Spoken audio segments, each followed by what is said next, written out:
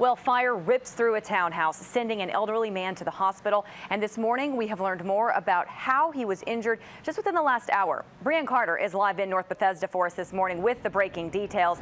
Brian, what have you been able to gather up? Audrey, just within the last 15 minutes, now learned more about the cause of this fire. We understand it was an electrical fire that, as part of the preliminary investigation reveals, may have started with an outlet. Now, we've also been told just within the last 15 minutes from Montgomery County Fire and Rescue officials that man, 75 years old, and is in critical condition. Take a live look here. You can see a closer look at this townhouse. You can see the fire just ripped through here. Now, fire officials tell us this all happened around 1.30 this morning. That is when firefighters were called here. They found very heavy smoke and fire coming from this townhouse unit.